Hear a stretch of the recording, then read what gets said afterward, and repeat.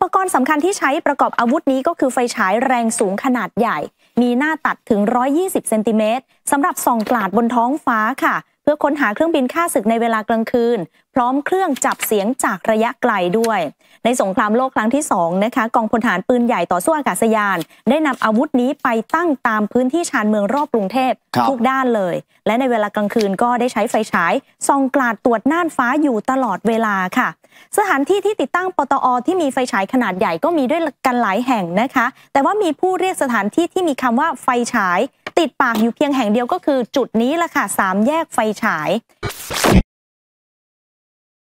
ชื่อถนนแต่ละจุดแต่ละ จุดเนี่ยก็มีที่มาที่ไปครับอย่างสามแยกไฟฉายนะคะอ่าหลายท่านนะก็เอ๊ะทำไมเออถึงผมก็ชื่อสงสัยสามแยกไฟฉายอยู่ฝั่งทนใช่ไหมใช่ตอนนี้ไม่มีสามแยกแล้วกลายเป็นหลายแยกแล้วกลายเป็นสี่แยกสแล้วมัยผมเข้ากรุงเทพยังเป็นสามแยกอยู่นะเออเพราะว่าตรงนี้ก็จะมีขนส่งสายใต้ใหม่อยู่ด้วยเนี่ยนะคะอาสามแยกไฟฉายค่ะเกิดขึ้นภายหลังการต่อขยายถนนพลานนก ซึ่งเป็นถนนลาดยางจากสามแยกปากถนนพลานนก ตัดถนนอิสรภาพหรือว่าสี่แยกพลานนก เข้ามาบรรจบกับถนนลูกรัง ในโครงการทางหลวงสายบางซ่อน สะพานพระราม 6 บางกอกน้อยค่ะ หรือว่าถนนจรัญสนิทวงในปัจจุบัน เมื่อปี 2484 ชื่อสามแยกไฟฉายเกิดขึ้นในสมัยสงครามมหาเอเชียบูรพา ซึ่งไทยเข้าร่วมสงครามกับญี่ปุ่น ที่ได้ขอเดินทัพผ่านประเทศไทย ไปยังดินแดนอาณานิคมของอังกฤษก็คือเขาจะไปพม่าค่ะ ไปเมียนมาแล้วก็อินเดียทำให้ฝ่ายสัมพันธมิตรโจมตีทางอากาศโดยทิ้งระเบิด พื่อทำลายจุดยุทธศาสตร์สำคัญต่างๆ และตัดขาดการคมนาคมของกองทัพญี่ปุ่นสำหรับในกรุงเทพค่ะมีการติดตั้งไฟฉายขนาดใหญ่หลายจุด เพื่อค้นหาเป้าหมายให้หน่วยปืนใหญ่ต่อสู้อากาศยานภาคพื้นดิน สามารถยิงสกัดกั้นเครื่องบินทิ้งระเบิด ที่ทำการในเวลากลางคืนได้บริเวณสามแยกไฟฉายก็เป็นอีกจุดหนึ่งค่ะ ที่มีการติดตั้งไฟฉายขึ้น โดยมีที่ตั้งอยู่ใกล้เคียงกับจุดยุทธศาสตร์ ก็มีสถานีรถไฟบางกอกน้อย กรมอู่ทหารเรือ พระบรมมหาราชวัง และพื้นที่พระนครชั้นในนะคะ ซึ่งถ้าพูดถึงไฟฉายเนี่ยไม่ได้เกี่ยวอะไรกับไฟฉายที่เออใช้ส่องแสงสว่างทานตามไฟฉายบ้านเรือนนะตากบไม่ใช่ก็ไม่เกี่ยค่ะวแต่เขาบอกว่าเออเป็นไฟฉายขนาดใหญ่ ซึ่งเป็นอุปกรณ์ประกอบปืนใหญ่ต่อสู้อากาศยาน หรือว่าปตอนะคะอ๋อซึ่งปตอค่ะเป็นอาวุธที่ประเทศไทยได้มาใหม่ เมื่อปี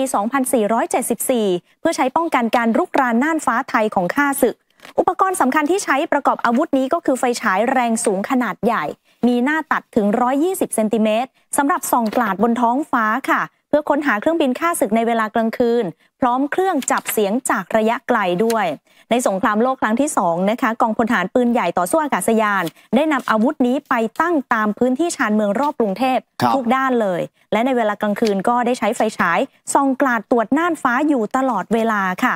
สถานที่ที่ติดตั้งปตอที่มีไฟฉายขนาดใหญ่ก็มีด้วยกันหลายแห่งนะคะ แต่ว่ามีผู้เรียกสถานที่ที่มีคำว่าไฟฉายติดปากอยู่เพียงแห่งเดียวก็คือจุดนี้ละค่ะสามแยกไฟฉาย เหตุที่คนทั่วไปจำได้ก็เพราะว่าสมัยสงครามโลกครั้งที่ 2 ค่ะ ปตอ